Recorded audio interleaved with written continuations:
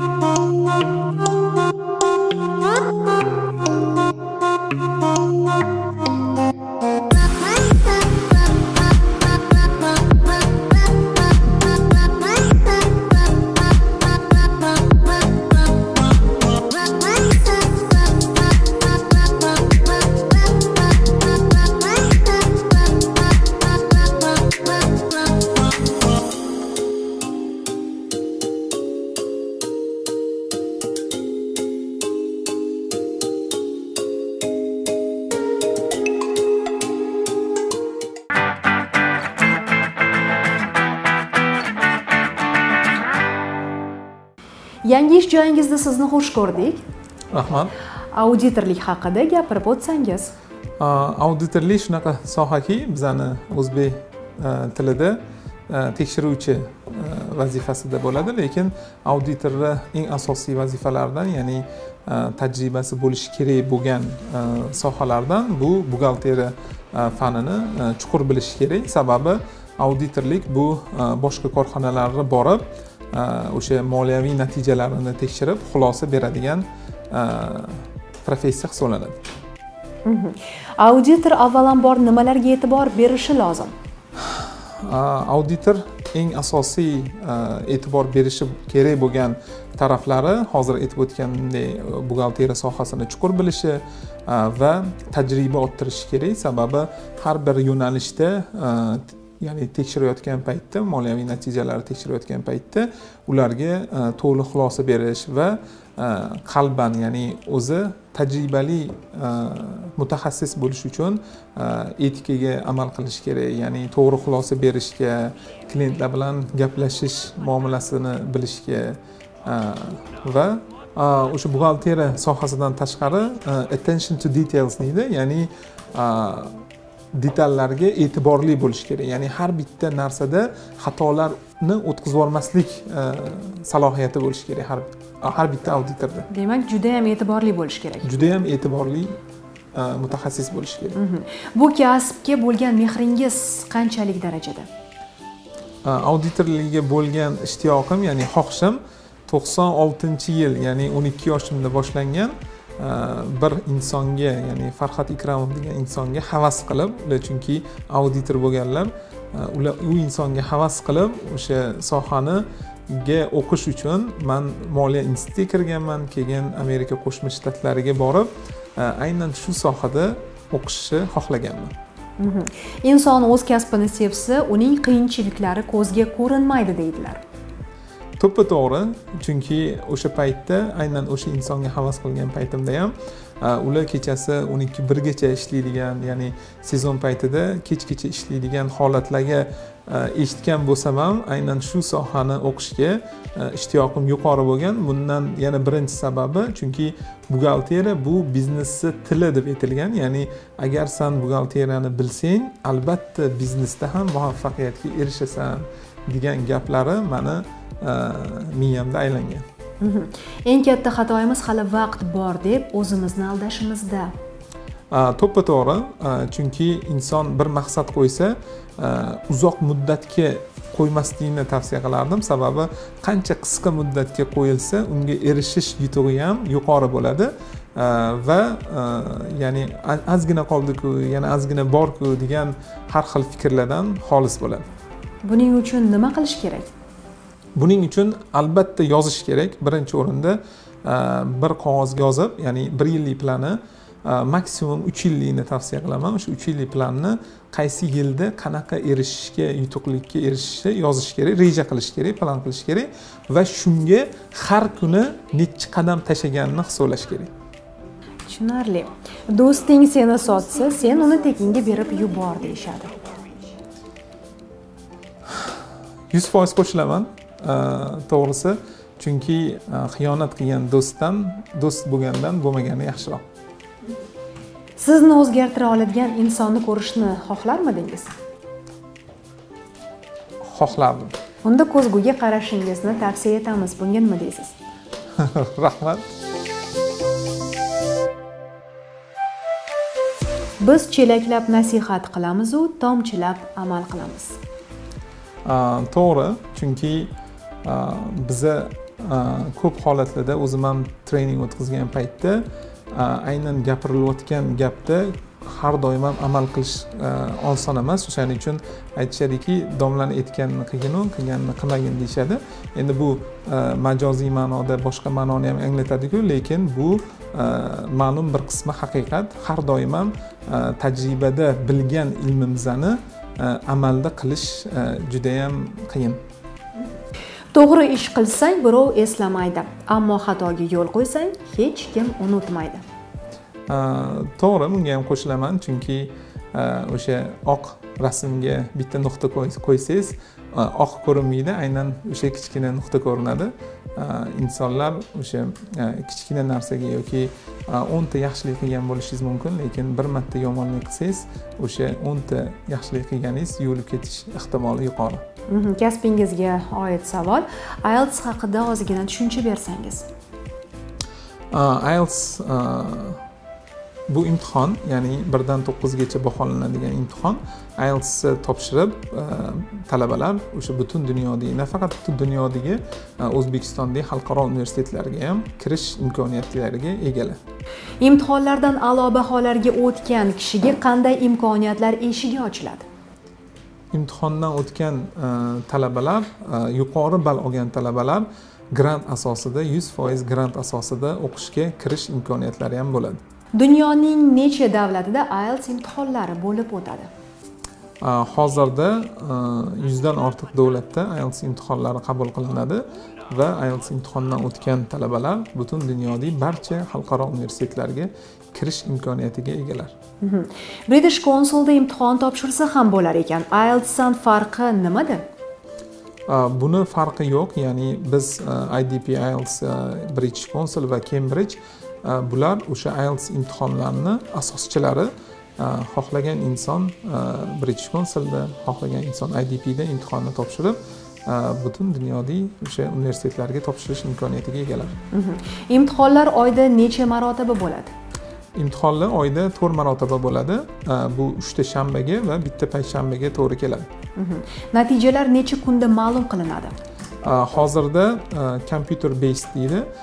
Kompyuterda topshiriladigan imtihonlar besh kunda uch kundan besh kungacha va ya'ni paper based deyiladi. Ya'ni qog'ozda topshiriladigan imtihonlar o'n uch kunda javobi chiqadi.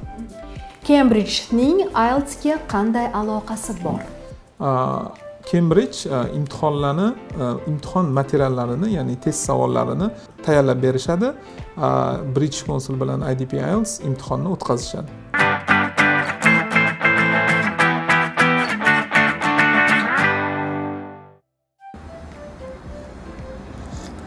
Yoqimli ishtaha rahmat. Charchamadingizmi? Yo'q. Taassurotlaringiz qanday? Judayam zo'r. Mhm. Ta'lim sohasiga kirishingizga nima sabab bo'lgan? Ta'lim sohasiga kirishimizga asosan o'zbekistondagi e, statistika sabab bo'lgan deylik. Sababi e, hozirda bilasiz e, o'ttiz uch million aholimiz bo'lsa o'ttiz to'rt qarab ketyapti. E, shundan qirq foizi yigirma yoshga to'lmagan ya'ni asosan yoshlarimiz. Ularni o'sha talabga e, ilmga ta'limga ishtiyoqlari e, unga bo'lgan intilishlarini hisobga olib e, man o'zimni o'rnimni ta'limda bersam ikki daraja ham foyda olar ekanman ham xalqqa foydam tegar ekan chunki ma'lum bir yoshi o'tgandan keyin ellik oltmishga to'lganda o'zbekiston xalqimiz uchun nima qilding degan savolga javob topish bo'lgan. Masalan o'qishga qiziqmaydigan bolalarga motivatsiya sifatida nima degan bo'lardingiz? Motivatsiya sifatida e, hozir mana e, ta'lim sohasida ish boshlagan bo'lsa e, birinchi bo'lib idp ielts olib kirdi ielts olib kirildi keyin cambridge english assessment kirdi undan so'ng celta kirdi bu o'qituvchilarimizni malakasini oshirish undan keyin mana oxirgi proyektimiz han academy bo'ldi. Han academy judayam dolzarb loyiha. Bu loyihada bu yangi loyiha. Bu yangi loyiha. Bu loyihada judayam yoshlarimizni istardimki bu loyihaga kirib o'rganib nega? Sababi bu xalqaro bilimni bera oladi va o'sha viloyatlarimizda maktab uzoq bo'lgan holatlarda yokida o'qituvchilarni yetishmaslik holatida e, ta'limni yuqori darajada berishga sabab bo'ladi. Sababi aynan han akademiydan o'qib kelayotgan bolalar bizaga kelib Э, kerak bo'lsa oxirgi mana ikki ming o'n to'qqizinchi yilda e, ikki yuz yetmish ming dollargacha grant yutgan bolalar bo'ldi. Biletigacha olib beradigan holatlar bo'ldi. И ularni ishtiyoqini ko'rsangiz e, judayam hayron qolasiz. E, aynan shu ikki yuz yetmish ming dollar yutgan bola aptekaga kirib uxlamasligim uchun nima dori ichishim kerak deb so'ragan holatlar bo'ldi. И judayam istardim yoshlarimizni o'sha han akademiyaga ishtiyoqlari yuqori bo'lsa. Bu tekin loyiha xalqimiz uchun qilinayotgan loyiha o'tga kirib o'zlariga bilim darajalarini ko'tarib va yuqori ya'ni xalqaro urovenda musobaqalashish imkoniyatiga ega bo'lishlarini xohlardim. U yerdagi fanlar haqida gapirib o'tsangiz. U yerdagi fanlar bizada hozir bu loyiha ochilish marosimi oktyabr o'n sakkizida bo'ldi. ikki ming o'n to'qqizda xudo xohlasa may oyida bizada may oyigacha matematika biologiya ximiya fizika fanlarini aniq fanlarni qo'yib ya'ni xalqimizga e, bemalol ishlashlariga o'rganishlariga ochib beramiz va hozirda e, matematika tayyor bo'ldi lekin may oyida o'sha aniq fanlarni e, qo'yamiz lekin bu hammasi emas u yerda hamma fanlar bor ya'ni uh, it sohasidagi fanlar yokida e, uh, injenerlar sohasidagi fanlar hamma fanlar xudo xohlasa bo'ladi. Chunki bu proyektimiz ikki ming yigirma ikkinchi yilgacha rejalashtirilgan va uh, oyma oy bu maqsadimizga erishib kelyapmiz. Bu yerga necha yoshdan necha yoshgacha bo'lgan yoshlar borishi mumkin? Bu loyihamiz yosh to'rt yoshdan kirib o'rgansa bo'ladi. Shunaqa loyihaki bu hozir ingliz tilidagisi tayyor bemalol kirib o'rganishsa bo'ladi. Bu loyihani biz o'zbek tiliga tarjima qilyapmiz bu to'rt to'rt yoshdan to universitetga kirgungacha bo'lgan fanlarni o'z ichiga olgan. Bu proyekt yoshlarimizga nima beradi? Bu proyekt yoshlarimizga eng asosiysi ilm beradi. Ular e, o'sha xalqaro musobaqalarga chiqishgan paytda bemalol e, boshqa talabalar bilan musobaqalashish imkoniyatini beradi. Nafaqat bu imkoniyat e, umuman butun dunyodagi eng zo'r universitetlar garvard bo'ladimi kembridj bo'ladimi oksford bo'ladimi aynan shu universitetlarga kirish imtihonini ana o'sha han akademiyadan topib tayinlanib imtihonlardan o'tib sat degan imtihonlari bor. O'shandan o'tishlariga sabab bo'ladi. Sababi hozirgina aytib o'tgan ikki yuz yetmish ming dollar grant yutgan bola ham aynan shu han akademiyadan tayinlanib bir ming olti yuzdan bir ming besh yuz yetmish ball olgan va u o'sha dunyodagi eng zo'r yuqori prestijniy universitetga kirib hozirda o'qimoqda. Endi noan'anaviy savollarga o'tamiz. Nomardni uyida bir marta choy ichsang o'zim katta qilganman deydi to'g'ri e, bu narsalar e, biznesda ham juda ko'p uchraydi. E, sababi pul tikayotgan odam ikkita biznesmen reja qilgan paytda yokida e, o'sha biznesni boshlayotgan paytida e, pul tikadi bitta odam bitta odam ishchi bajaradi. Lekin bir e, ma'lum bir muddat o'tgandan keyin o'sha ishlayotgan odam ya'ni pul tikkan emas ishlayotgan odam o'sha ishni bajargandan keyin to'xta nega man o'zi bu insonga o'zimni foydamdan beryapman deb Э, har xil o'yinlar boshlanadi va aynan shu hozir aytgan o'sha maqolangizga aynan shu narsa to'g'ri keladi. Э, unda asosan insonni qadriyati yoshligida olgan tarbiyasi o'sha birovni haqqidan qo'rqishlari э, katta rol o'ynaydi.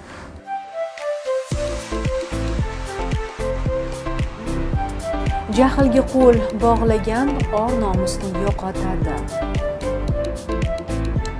Э, bu gapingizga yuz foiz qo'shilaman. Sababi e, jahlda jahl chiqsa aql ketadi deb bekorga aytilmagan jahl chiqqan paytda e, o'sha har xil maqollarimiz bor. Bu bular behikmat emas. E, u paytda o'sha aytganingizdek jahl chiqqan paytda or nomusini ham o'ylamaydi. Chunki aql ketgandan keyin ular ko'p xato qilishga e, majbur bo'ladi. O'sha paytda e, o'zimga odat qilganman e, turgan bo'lsam o'tiraman o'tirgan bo'lsam u joydan chiqib ketishga harakat qilaman. Chunki jahl chiqqan paytda o'sha ozgina vaqt kerak bo'ladi. O'sha vaqtdan unumli foydalanish kerak. O'sha jahl chiqqan holatda yo tashqariga chiqish kerak yo o'tirib olish kerak. Demak jahlingiz tez o'zingizni to'g'ri mani ham jahlim tez ya'ni jahlim tez chiqadiku lekin hozirda o'sha tajriba o'sgan saringiz u narsani boshqarishni xohlab qolar ekansiz va o'ylaymanki hozirda boshqarishga kuchim yetyapti. Ishonch bo'lmagan joyda fayz baraka bo'lmaydi. To'g'ri chunki biznesda ham umuman hamma joyda oilada ham ishonch birinchi o'rinda turadi. Chunki man ikkita qarashim bor. Ishonch bilan tajribaga qarayman. Xodim olayotganimda ham yoki kim bilandir ishlayotgan holatimda ham birinchi o'rinda ishonch turadi. Chunki yaqinda bir kitob o'qidim speed of trust degan. Bu ishonchning tezligi. Ya'ni ishonch shunchalik tez ekanki agarda bir odamga ishonsangiz o'sha narsaga erishishingiz yoki o'sha narsani amalga oshirishingiz judayam yorug'lik tezligidan ham tezlikda amalga oshishi mumkin ekan. O'shaning uchun insonlarga ishonish bu eng asosiy birinchi qoida. Albatta bu ishonish kerak. Ishongandagina o'sha aytganingizdek baraka bo'ladi va qaysidir maqsadingizga erishmoqchi bo'lsangiz o'sha maqsadga judayam tez erishasiz. Sizni ishonchingizni suiiste'mol qilganlar bormi? Mani ishonchimni suiiste'mol qilganlar bor bo'lgan bu endi tajribadan kelib chiqadi. har xil holatlar bo'lgan ishonchimizni ishonch bilan topshirgansiz. Lekin ma'lum bir muddat o'tgandan keyin u ishonch buzilishi boshlagan. Chunki har xil fikrlar keladi insonga. man haqman yoki san nohaqsan degan holatlar bo'ladi. Shu holatlargina o'zi ishonchni bizdiradi va bu holatga albatta tushganmiz bu tabiiy holat deb o'ylayman.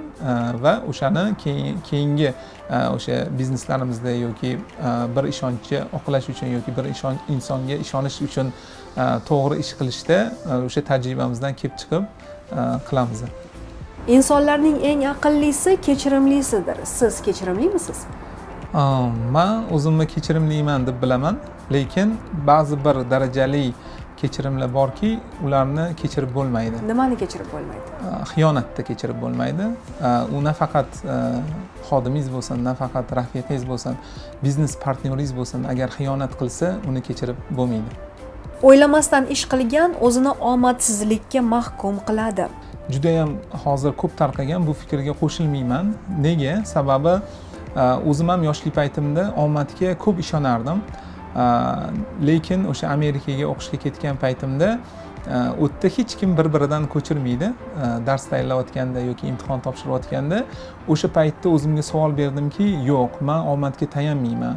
O'sha olloh ham omadni tayinlanganga harakat qilganga beradi tavakkal qilganga beradi deb o'zimga maqsad qilib ya'ni hayotimni o'sha davrdan boshlab u narsaga ishonmaslikka ya'ni ishonish kerak lekin unga tayanish kerak emas. Ya'ni man omadsiz bo'lganim uchun man imtihondan o'tolmadim yoki omadsiz bo'lganim uchun bu ishni qilolmadim deyish bu yuz foiz man uchun noto'g'ri. Mhm.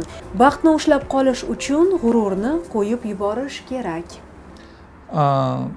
Judayam qiyin savol bo'ldi lekin bunga ellik foiz qo'shilamanu ellik foiz qo'shilmayman deb javob bergan bo'lardim.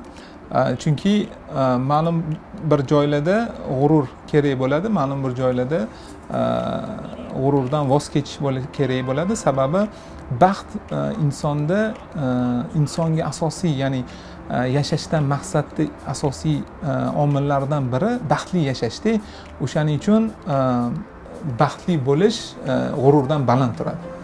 Baxt siz uchun nima? Baxt bu judayam ko'p narsa. Man uchun atrofdagi insonlarimga ya'ni hozirda ikki yuz ellikta xodim ishlayotgan bo'lsa o'sha ikki yuz ellikta xodimimni baxtli bo'lishi man uchun baxt. Bolalarimni yugurib kelib quchoqlashi man uchun baxt. Ayolimni salom berishi man uchun baxt. Ota onamni peshanalaridan o'pishim man uchun baxt. Baxt bu ollohni roziligini olish bu man uchun baxt. Judayam ko'p narsa aytsa bo'ladi lekin. To'g'ri. Uch narsani ortga qaytarib bo'lmaydi. Otilgan o'q aytilgan so'z o'tgan vaqt. Yuz foiz qo'shilaman bunga. Sababi bu bu narsalar shunday narsalarki bu hech qachon orqaga qaytarib bo'lmaydi. Lekin yoshlarimizga o'sha har bitta insonga aytardimki shulardan shu narsalarni qilgan insonlar birinchi bu narsalarni qilmaslikka agar qilishgan bo'lsa afsuslanmaslikka harakat qilib yashashligini xohlardim. Mhm. hozirgi kunda qasam ichish suv ichishdan ham oson bo'lib qolgan. Shunday bu narsaga qo'shilaman. Sababi ma'naviy rivojlanish yuqori bo'lgan holatdagina inson o'zini qasamiga gapirayotgan gapiga judayam ehtiyot bo'lishi kerak. Mhm. dunyoda ilmdan boshqa najot yo'q va bo'lmagay. Bunga ham qo'shilaman. Sababi millatni e, xalqqa o'stiradigan rivojlantiradigan va to'g'ri qaror qabul qilishda ilmni o'rni judayam muhim. Mhm. qizil kitobga faqat jonivorlarni emas oqibatni ham kiritish kerak. To'g'ri e, bunga ham qo'shilardim. Sababi e, o'zi umuman sabab bo'lmaguncha oqibat bo'lmaydi lekin sabablar sababli bo'lishi kerak. Ya'ni kerakli bo'lishi kerak lekin bu keraksiz bo'layotganligi sababli oqibatlar ham yo'q bo'lib ketyapti. Bu narsa albatta yaxshilikka olib kelmaydi va oqibatni asrab ya'ni avaylab uni xalqlarni orasida insonlarni orasida rivojlantirish kerak. Yo'qolish kerak emas. Yoshlik bahor emas u ketsa qaytmaydi. Albatta shunaqa. Judayam man e, o'sha treninglar o'tayotgan paytda yoshlarimizga ko'p aytaman sababi e, yoshlik davri shunaqa davrki e, u yerda hamma o'ynagisi keladi kulgisi keladi. Lekin bu davrda mustahkam ilmni qurib olish kelajakdagi hayotida judayam muhim rol o'ynaydi. Agar buni e, faqat o'yin kulgi bilan o'tkazish kelajakni hayoti qiyinlanishiga olib kelishi mumkin. O'shaning uchun e, o'yin kulgidan tashqari bo'lgan o'sha e, kitob o'qishlar ilm o'rganishlar muhimligini judayam his qilishligini xohlardim yoshlarimiz. Mhm. onamning duolari bu mening yashirin qurolim. To'g'risi onamning ota onamning duolari man uchun ham yashirin ham ochiq. Chunki man har kuni har kuni bir kun ham qoldirmasdan yo onamni yo otamni duolarini olib uydan chiqaman.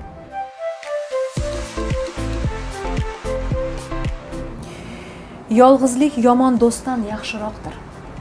Yolg'izlik yomon lekin do'stdan yaxshiroqdir. Yomon do'stdan yaxshiroq lekin to'g'ri aytgansiz yolg'izlik yomon. Ya'ni biza o'zbekistonda o'sha oilamiz bilan qarindosh urug'larimiz bilan mehr oqibatda o'sha hamma birgalikda yashashga o'rganilgan lekin yomon do'stlari bo'lmasligini istardim. Chunki har doim o'zim ham duo qilib yuraman. Do'stga xor nomardga muhtoj dushmanga zor qilmagin deb. Siz uchun motivator kim? Man uchun motivator birinchi o'rinda otam birinchi o'rinda otam keyin onamlar keyin yana bir inson bor. Bu katta opamlarni erlari farhad ikramov birinchi motivator insonlarimdan biri. Agarda men ko'rsatuvda sizni xush ko'rdik siz bilan o'tkazgan ma'lum bir vaqtimiz mazmunli va maroqli o'tdi deya olamiz. Endi bemalol tilaklaringizni bildirishingiz mumkin mani tilaklarim e, uzreport tvga e, rahmat etamiz va yoshlarimizga albatta va ota onalarimizga ilm olishda xalqimizga o'zinglarni hissanglarni qo'shishda va bu hissani qo'shishda xalqaro darajaga olib chiqishda kuch quvvat hamrohingiz bo'lsin va ilm o'rganishda to'xtamang.